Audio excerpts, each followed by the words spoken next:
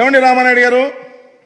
మీరు ఈ పిల్లకి ఇచ్చా ఈ పిల్లకి ఇచ్చా ఈ పిల్లకి ఈ పిల్ల ఈ పిల్ల అన్నది అందరికి ఇస్తారా? ఎవరా? ఇది చెప్పల మాకు విధి విధానాలు ఇంకా కుదరలేదు. విధి విధానాలు ఇంకా నిర్ణయిస్తాం. అప్పుడు చూస్తాం అప్పుడు ఇస్తాం అనే పద్ధతిలో ఏదో మర్మ మర్మగర్భంగా మాట్లాడారు. అది కాదు కావాల్సింది. మీరు you have issued a GO. దీనికి విధి విధానాలు ఏంటి? దీనిలోనే ఉన్నాయో జీవోలో? ఒకసారి జీవో రామానాయుడు గారు మీ దగ్గర ఉందా? ఉండే ఉంటుంది. గవర్నమెంట్ లేదా నేను పంపిస్తా. చూసుకోండి. విధి విధానాలు చాలా క్లియర్గా ఉన్నాయి దీనిలో. ఏమని? డెబ్బై ఐదు పర్సెంట్ హాజరు కావాలి. మేం పెట్టింది. బిలో పావర్టీ లైన్లో ఉండాలి. మేం చెప్పింది. ఆధార్ కార్డు అనుసంధానం కావాలి. మేం చెప్పింది. బడికెళ్ళే ప్రతి పిల్లవాడికి మీరు ఇస్తా ఉన్నారు బతి బడికెళ్ళే పిల్లవాడి తల్లికి మేము పదిహేను వందలు ఇస్తా ఉన్నాం. మీ ఒక తల్లి ఉంటే పదిహేను వందలే అని అన్నాం మేము. మీరేమన్నారు? ఎంతమంది పిల్లలుంటే అన్ని డబ్బులు ఆ తల్లికి ఇస్తాం. ఇద్దరు పిల్లలుంటే ముప్పై వేలు ఇస్తాం.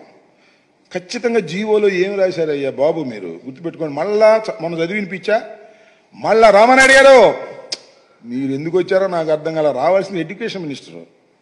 లేదా ముఖ్యమంత్రి. లేకపోతే ఆ ఎడ్యుకేషన్ సెక్రటరీ. నిన్న ఏదో విద్యాశాఖ వాళ్ళు ఒక ప్రకటన ఇచ్చినట్టుగా విధి విధానాలు కొద్ది ఇంకా ఫైనల్ అయిపోయినాయి. విధి విధానాలు అయిపోయినాయి అన్నీ అయిపోయినాయి. మీరు ఇంకా విధి విధానాల దగ్గరే ఉన్నట్టున్నారు. వాళ్ళు డబ్బులు పంచే పరిస్థితిలో ఉన్నట్టుగా లేరు మీరు. డబ్బులు ఈ అమ్మఒడి కాదు దీని పేరే ఉన్నారు తల్లికి వందనం వేసే పరిస్థితిలో మీరు కనపడలేదు. చూడండి నేను చెప్తున్నా. As a part of government assured flagship programme the government under Talliki Vandanam. Scheme is providing financial assistance of rupees 15,000 for annum to each mother or recognized guardian who is below poverty line household and sending their children to schools, colleges, that is from class first to seventh.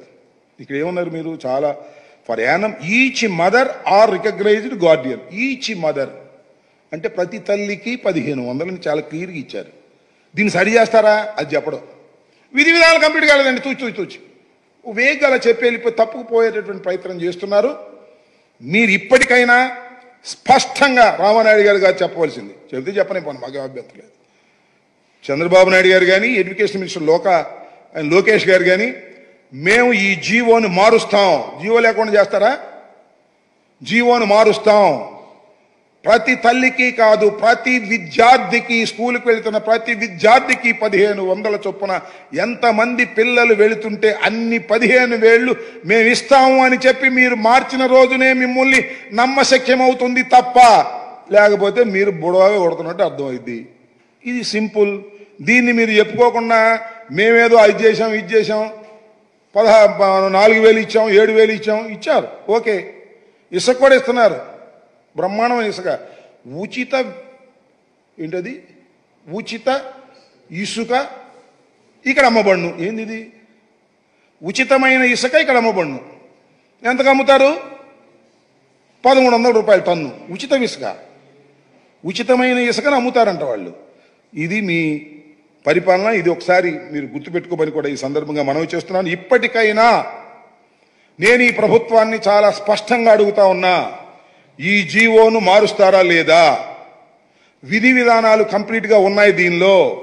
మీరు నాలిక మడతేసి తప్పుకోవడానికి ప్రయత్నం చేస్తున్నారు. అందువల్లే ముఖ్యమంత్రి గారు కానీ ఇంత పెద్ద ప్రోగ్రాం ఇంత ఫ్లాగ్షిప్ ప్రోగ్రాం ముఖ్యమంత్రి గారు హామీ ఇచ్చినటువంటి ప్రోగ్రాం ప్రతి బహిరంగ సభలోనూ ముఖ్యమంత్రి గారు మాట్లాడినటువంటి ప్రోగ్రాం ఈ ప్రోగ్రాంకి అమాయకుడైన మా రామానాయుడిని పంపించి పాపం ఆయన కూడా ఏదో ఆయన ట్రోల్ అవుతున్నా అని చెప్పి ఆయన మాట ఆయన పంపించడం కంటే మీ అబ్బాయి లోకేష్ని పంపించి ఎంతమంది పిల్లలు బడికి వెళుతుంటే అంతమందికి మేము డబ్బులు ఇచ్చే బాధ్యత మాది.